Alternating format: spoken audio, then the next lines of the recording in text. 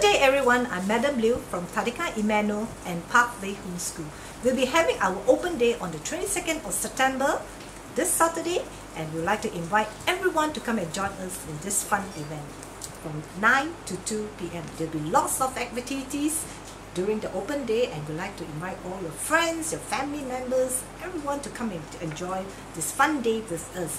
Whatever funds that has been collected from this event will be channeled to Tabung Harapan.